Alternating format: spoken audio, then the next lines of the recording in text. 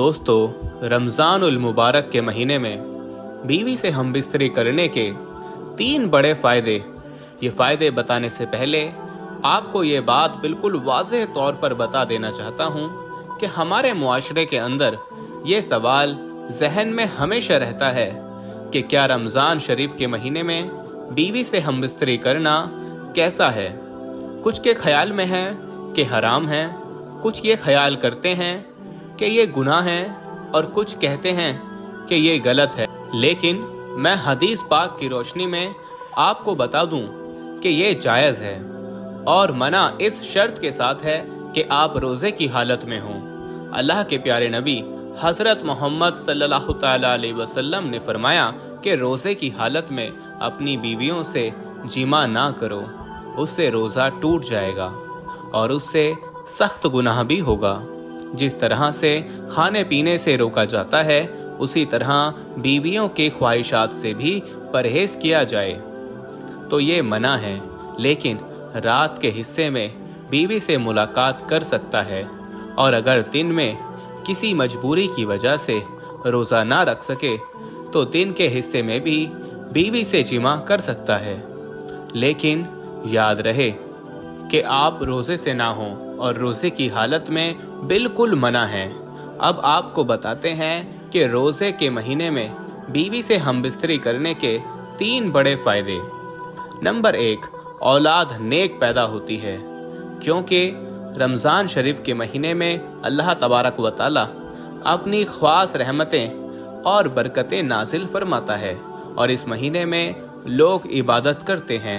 नमाज़, रोज़ा और अल्लाह की इबादत में मशगूल रहते हैं, जिसकी वजह से कल्ब रोशन होता है। कल्ब में एक नई ताजगी, ईमान में एक नई हरारत पैदा होती है, जिसकी वजह से मर्द और औरत की मनी, यानी जिस मनी से अल्लाह तबारक व एक इंसान का वजूद ज़ाहिर करता है तो उस मनी में भी निखार पैदा कर देता है। देखिए, अल्लाह वाले और अल्लाह के वली जिसकी औलाद भी नेक हुआ करती है।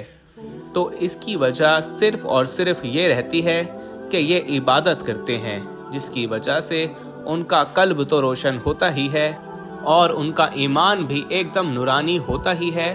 इसके अलावा उसे अल्लाह तबारक व ताली उसके मनी को भी निखार देता है, जिसके ज़रिए होने वाली औलाद नेक पैदा होती है। उसमें तासुरात नेक तासुरात पैदा फरमा देता है। अच्छे तासुरात पैदा होते हैं, जिसके ज़रिए औलाद नेक पैदा होती है। तो इबादत के ज़रिए से उस मखसूस पानी में निखार पैदा होता है। तो इसलिए औलाद नेक पैदा होने की काफ़ी हद तक चांस रहते हैं। नंबर दो, यानी दूसरा बड़ा फ़ायदा, कि रमज़ान शरीफ के महीने में हम बिस्तरी करने से यानी के जिमा करने से, शैतान के तासुरात से मियाँ बीवी महफूज रहते हैं। अब इसका खुलासा ये है कि रमज़ान मुबारक के अलावा और दिनों में शैतान बीवी के कमरे में दाखिल हो जाता है। जहाँ मियाँ बीवी अपने ख्वाहिशात को पूरा कर रहे होते हैं, वहाँ वो दाखिल हो जाता है और अपने तासुरात बीवी के शिकम में, यानी पेट में दाखिल कर देता है। और अपनी शरारत करता है, जिसकी वजह से शैतानी शरारतों वाली औलाद पैदा होती है। अब आप सोच रहे होंगे कि ऐसा कैसे हो सकता है।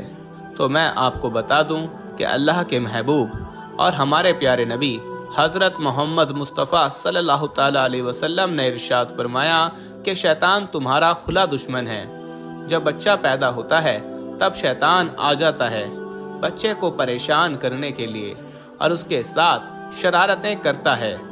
बच्चा काफ़ी परेशान रहता है।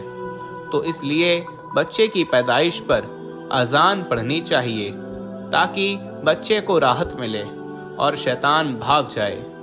अल्लाह के नबी हज़रत मोहम्मद सल्लल्लाहु अलैहि वसल्लम ने इरशाद फरमाया कि अजान पढ़ने से शैतान काफ़ी हद तक, काफ़ी मील दूर भाग जाता है। इसलिए अजान पढ़ने में देरी ना की जाए। बल्कि बच्चे के जैसे ही पैदाइश हो तो उसी वक्त अजान पढ़ दिया करें। अल्लाह के नबी सल्लल्लाहु अलैहि वसल्लम ने इरशाद फरमाया कि जब मौत का वक्त करीब आ जाता है, तब भी शैतान अपनी शरारत से बाज नहीं आता। वहाँ आ जाता है, तब भी उसको परेशान करता है, ताकि उसकी जबान से कुछ का कुछ निकले और कलमा तैयबा जबान से ना निकल सके। इसलिए वहाँ पर जो लोग मौजूद होते हैं तो वो कलमा शरीफ ज़ोर ज़ोर से पढ़ते हैं, ताकि मरने वाले को कलमा याद आ जाए, और वो सुनकर कलमा पढ़ ले। और जब इंतकाल हो जाता है, तब भी वो पीछा नहीं छोड़ता, कब्र में भी आ जाता है, जिसको बहकाने के लिए, परेशान करने के लिए शरारतें करता है, ताकि ये सवालों के ठीक ठीक जवाब ना दे सके।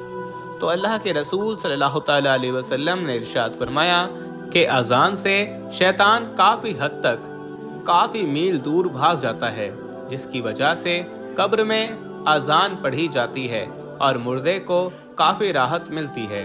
इसी तरह, जब मियाँ बीवी मुलाकात करते हैं, यानी खसूसी मुलाकात तो उस दौरान भी शैतान अपनी शरारत से बाज नहीं आता और वो आ जाता है।